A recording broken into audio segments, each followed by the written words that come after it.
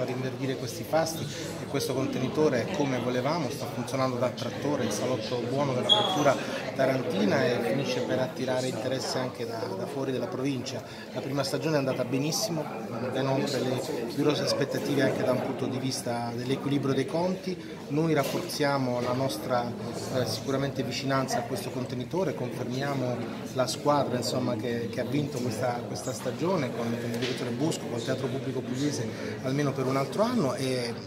a giudicare la qualità insomma, di ciò che stiamo proponendo ai tarantini e da come eh, c'è entusiasmo intorno alla vita del Fusco anche per la prossima stagione, penso che possiamo aspettarci da, da questo gioiello insomma, eh, molto simbolico per la ripartenza di Taranto ancora tante belle sorprese. Dopo l'estate riparte una nuova e ricca stagione, che cosa sogna per questo nuovo periodo? Ma io sono contento già oggi, nel senso che avevamo chiesto all'organizzazione di tenere alta l'asticella, no? non, volevamo, non volevamo compromessi, eh, potenzieremo sicuramente anche l'offerta musicale, eh, come dicevo i nomi attesi quest'anno a volte in esclusiva sono di assoluta rilevanza, sono contento di vedere tanti sold out come, come è stato l'anno scorso, vuol dire che i tarantini eh, amano la cultura, amano, amano, le cose belle, amano il buon vivere e noi, e noi lo stiamo offrendo, quindi questa immagine di questa Taranto